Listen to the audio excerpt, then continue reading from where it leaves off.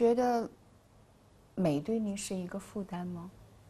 有时候是，但是总的来说，我觉得是天赐的一种东西。比方说，啊、有朋友介绍啊，说要吃饭啊，啊、嗯见到一些呃同代的人，会说呀，就是你是我们心目当中的女神啊，当年的啊梦中情人啊什么，你就觉得挺负担的，因为你只不过是个真人，你知道吗？你不是个女神，你跟真人一样，你也要老去，也要也也会失去你的容貌，所以这个时候你就会觉得负担。当人们说这样的话的时候，就我就挺，我也知道我会让你失望，我也自己有点失望，所以嗯，自己的确失望是什么？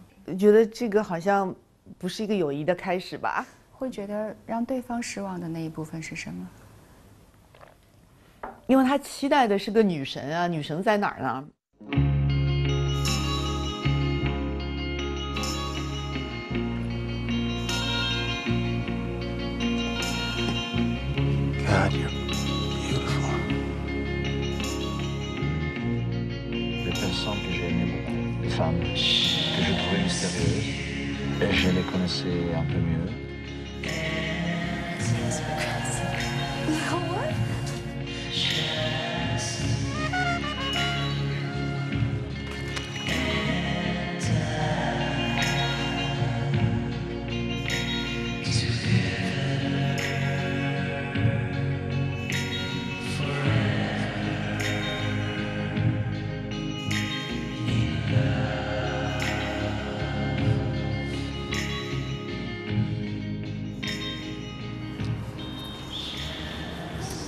我真的是看着他看着他，我就溜神儿了，就是会有那种说哇，怎么这么美好，然后那么性感，就是他特别优雅的那种状态，就让我觉得说哦。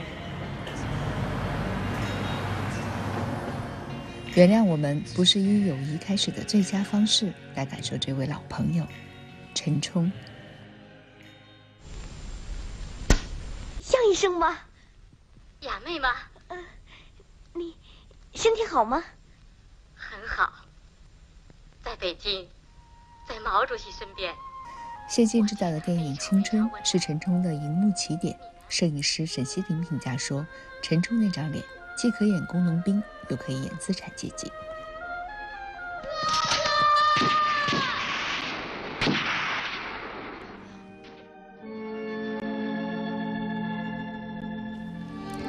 一九七九年，电影《小花》上映，这部影片在当年有三亿人观看。哥哥，小花一夜间，陈冲被推上了全民女神的位置，成为了最年轻的百花影后。小花哥哥，满街是小花的脸容，月份牌上是陈冲捧着金鸡奖、百花奖的照片。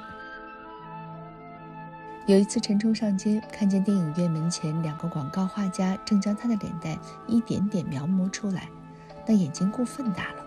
他突然感觉这个巨大的美人头跟自己一点关系也没有。他的本质是另外一回事。他的本质是一个每天嘴里念着英文、德文的十八岁少女，一个读浮士德、读变形记的上海外国语学院大一学生，一个怕胖又贪嘴的女孩。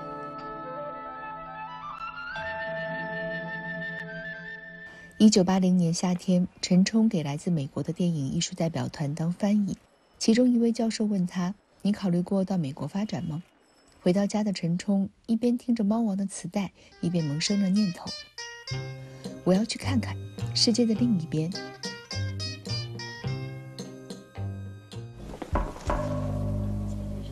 皇上，这是婉容格格。一九八六年，他被享誉世界的意大利导演贝托鲁奇看中，出演了后来荣获奥斯卡奖的史诗巨作《末代皇帝》。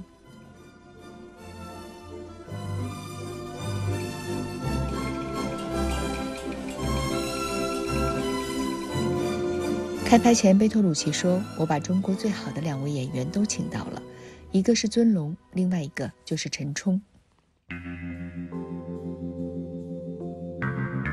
九十年代，陈冲出演由戴维·林奇执导的《双峰镇》，这是当时全美收视率最高的电视剧。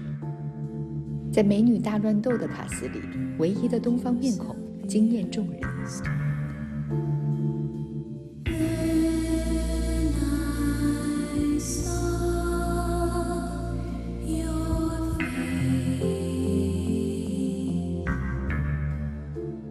除了出演作品，陈冲手执导筒也获得金马奖最佳导演，并成为首位在好莱坞执导主流商业片的华裔女导演。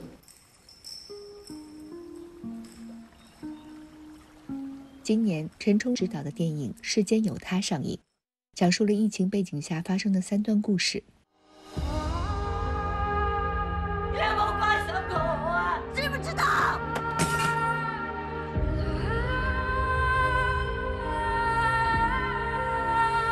陈冲所执导的部分是个爱情故事，年轻的情侣在疫情阴霾下经历了生死离别，最后的时刻只能用手机作为情感的载体，探讨的是生命中的无常。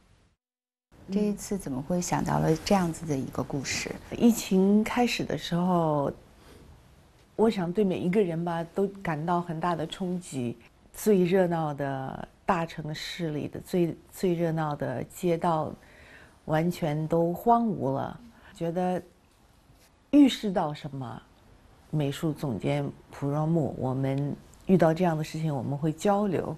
那他发给我一组啊绘画，那应该是哥本哈根的呃的街道，在好像很日常的街道，也好像是日常的光线，但是又显得那么令人不安和诡异，和有某一种预示，对人类本身的一种预示。那么它是在我们疫情前十五六年的画的，就在疫情期间在看这些画的时候，你会更感受到它的力量。失去了人群的街道，跟手机上传来的，它又是截然不同的东西，它有了它形而上的意义。五月的时候，美国已经死了很多人了，这个也是。这一生没有经历过的事情吧，我也是。我回家探望父母的计划，也一而再、再而三的，就是往后延。那这种担忧、这种思念、这种放逐的感觉，就有了很深的体验了。那么我寻找故事的时候，最终落到了这样一个故事，其实也就是爱与失去。当我看到了。网上这样一个小小的故事，就是女孩子离开了，没想到就是一个很随意的呃告别，就没想到就永远没有再看见了。回忆起自己的人生，其实一个人要有一个挚爱，这是一个非常大的啊幸运和幸福哈，不是每个人都有的。那么失去挚爱，应该说吧，对。任何一种失去来说，这可能也是最巨大的，所以就提炼了，就选择了这样一个故事。当时选择它的时候呢，还有一个很大的原因就是手机。其实它不是一个恋爱故事，它是一个女孩与手机的故事。因为我自己是这样跟丈夫交流的，跟孩子交流的。其实远在上海的父母这样交流。对，然后电影拍完之后。我母亲去世的时候，我无法赶到身边，其实也是这样说的再见。电影里我写到的，就是他们两个人最后一段对话。这个其实后来就是在我自己的生命当中发生了。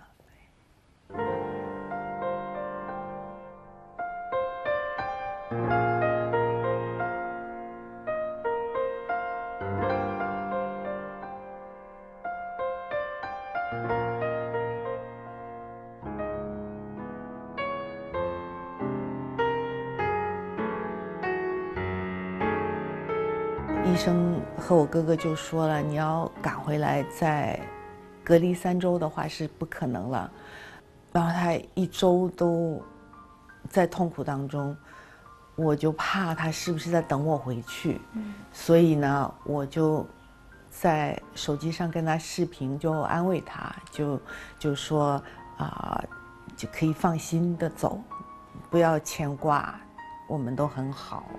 我就是这样看着他走了，所以这种痛苦也从手机当中得到了某一种安抚。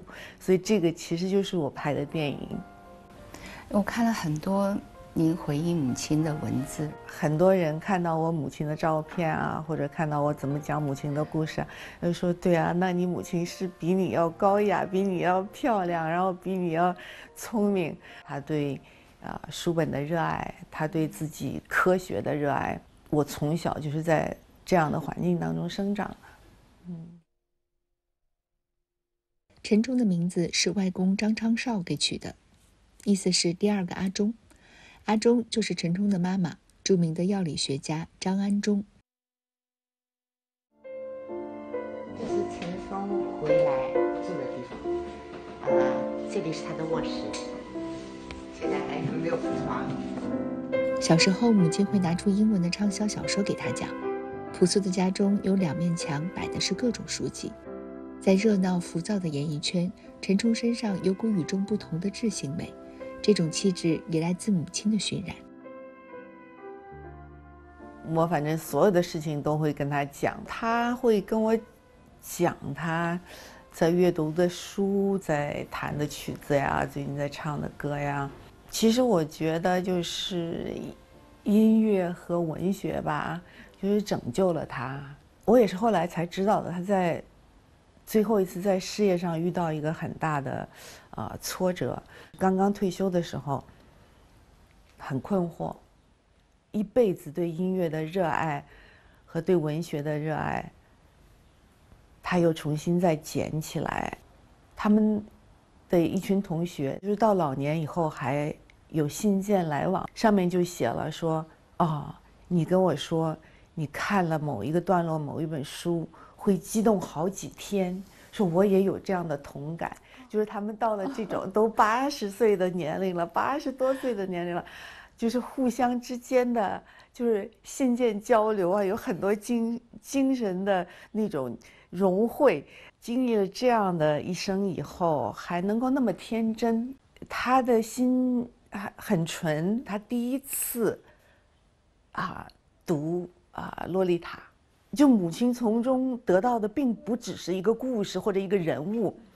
一个非典型人物，她的这份激动啊，是对文学本身，真的是我没想到的。就是一个八十岁的老太太，我原来也会想，她是个很传统保守的人，会不会就是就很恶心哈？就是这种行为哈，那么那么猥琐的行为，但他看到的不是这个。但他从书中看到的是另外一个东西，我就很欣赏，领会到的是书的精神，所以这个是母亲的一个特性。嗯，我看到您说，嗯，妈妈带着你一起躺在地上，是拖完地板之后躺在地上去听那个英文广播。对，哎呀，那个好触动我呀！因为上海很热嘛，我们也没有电扇，也没有呃空调，其实。其实这是损坏地板的，但是我们也没有去管它，就是总是把地板拖得很湿很湿，这样的话很阴凉嘛，就就直接躺在地板上，啊，就就就躺在那儿学习英语，听那个广播英语。就有一些事情会经过时时间的沉淀，它仍然是清晰的在你的头脑里。就是这些时刻，因为我知道用湿拖把拖地的时候，他很快乐。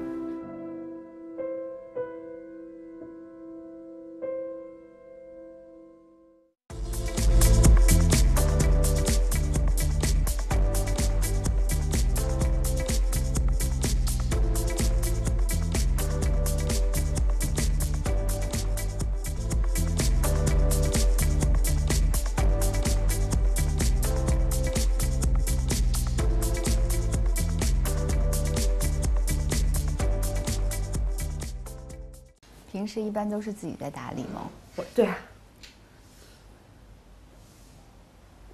自己画快。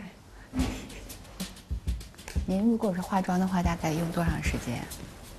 大概二十分钟最多。您的这种技能是可以搞定技能？这怎么是技能？但嗯，但真的有好多人他自己没办法的，一定要有人帮着打理、帮着化妆、弄头发等等的。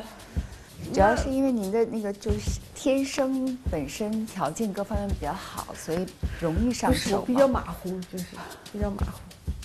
那如果平时出去呢，就是像是如果电影宣传啊等等的这些，都是您自己。有时候会，有时候会有有什么搞活动啊，或者怎么对，会会有人，但他们一弄就什么一个小时，时间来讲对您更宝贵一点。您愿意拿这些时间做点什么？随便做点什么，发呆都比那好啊。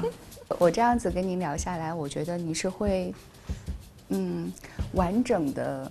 和特别女人的女人的让我留神的一个状态，我是发自内心的，我不是想要恭维，是真的，是会有那一种很迷人的一个气质在。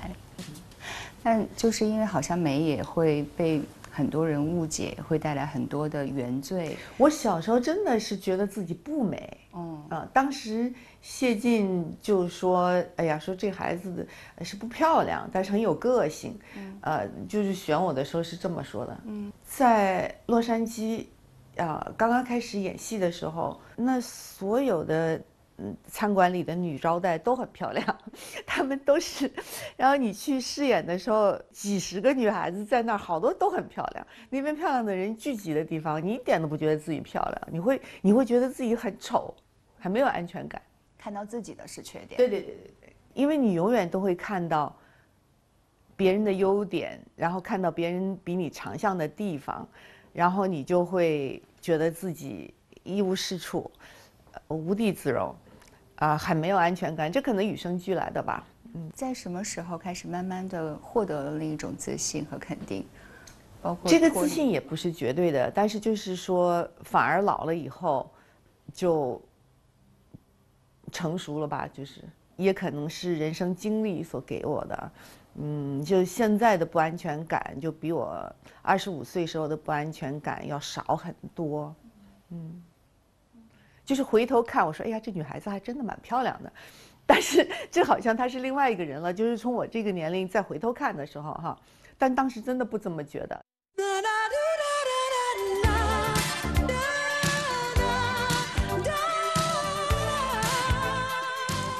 九十年代，陈冲从一度是好莱坞片酬最高的亚裔女演员。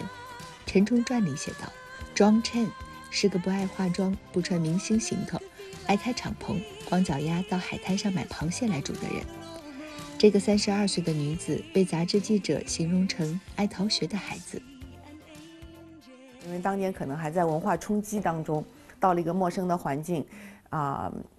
跟我在国内受到的教育实在是太相差太大，所以人在非常非常困惑的情况下，啊，所经历的各种，现在想想有点不可思议的事情。是什么不可思议的事情？您经历和承受过的？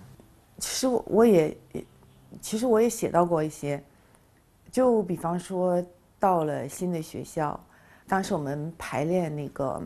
《仲夏夜之梦》的时候，看到同学之间排练的时候，有的时候有一对两对人这样在那儿亲密啊，或者怎么样。然后，其中有一个演员老会来骚扰我，嗯，那我会很困惑，我会说不知道说，就是我这样不正常，还是他们这样不正常？我不知道什么是社会。的标准，那个规范对边界在哪儿？对，不知我不太懂，所以就很紧张，令令我很紧张，很害怕。后来在见到这个演员的时候，我见到他我会发疹子，我这个地方什么都会红起来，就就不知道一种什么样的心态，就紧张到人的例假会停，你知道吗？或者医生就说你的你的荷就在哎。你会停个半年这样。刚刚到那儿的时候，因为那个年代，八一年我去的时候，现在的孩子们还了解一些吧。不管怎么说，因为我们太不了解了，实在太困惑了。然后我发了疹子以后，我去医务室，然后医务室的那个医生，他说你有没有吃什么、接触什么以前没有接触过的东西，可能是过敏。啊，我说很多东西我都没有接触过，从中国来的，我也是事后才想到的。他可能就觉得你肯定什么都不懂，然后他就说，啊、得看看你身上其他地方还有没有，嗯，叫你脱衣服，男生还是生男的，然后你你不懂嘛，你不知道嘛，你就现在回头想，这就是骚扰嘛，嗯，都是阴暗的恐恐惧的记忆。就是呃觉得太可怕了。当然这这种事情以后也没有再发生过，当我刚到的时候发生过，我就我就会哎呀觉得太恐怖了，嗯。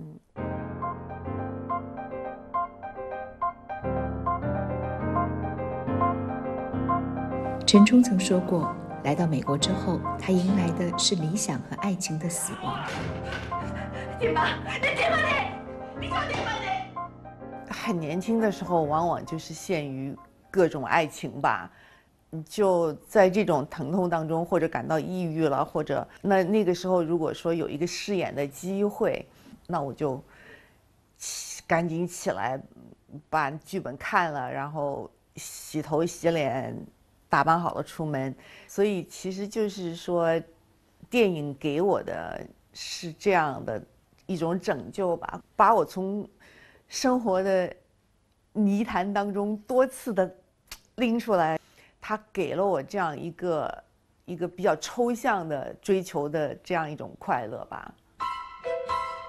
末代皇帝之后，陈冲真正爱上了电影，而后无论是做演员还是做导演，他始终在追寻着那份诗性的表达。他曾这样形容那位英格力士里的英语老师：他没有按着时代的脚步像一头牛那样生活，是按着一个永恒的脚步在生命的路上走。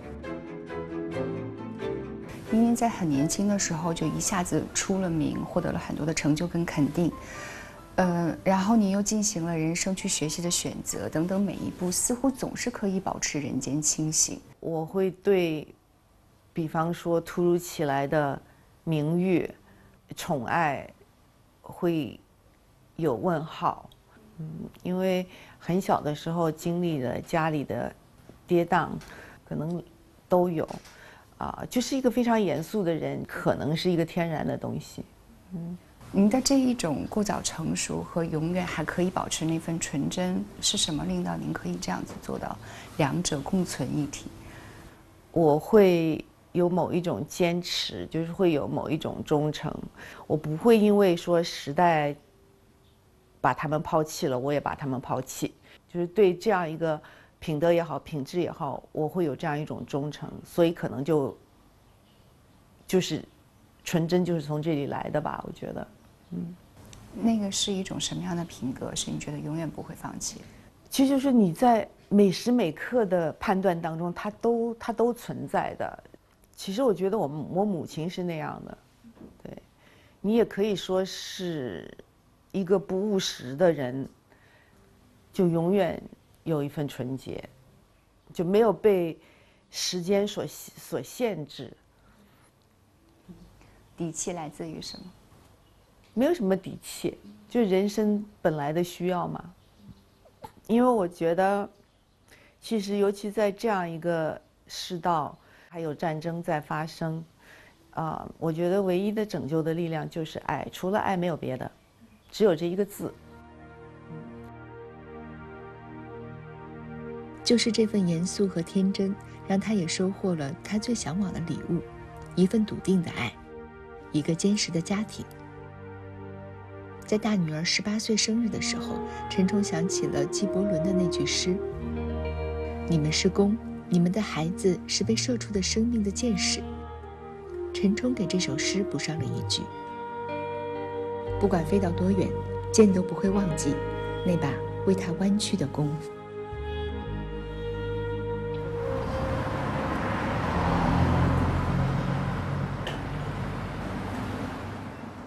然后我特别特别爱他，就是那个出现和离开的状态，就是他一个人背个包，穿个黑色大衣，戴个口罩，然后就出现了，然后又很自在的一个人这样子离开了，然后也没有过多的照顾，也没有庞大的团队，你很难可把他和那种你你想象的那个巨星连接在一块儿。对，然后我那个朋友还跟我说，他说为什么你非要在这个节骨眼儿里边去出差，然后还要旋风二十四小时，有什么不得不做的事情？我说为了一个人。哦，好浪漫啊！没有为一个人做出那么多。对对对，为了一个有魅力的女人。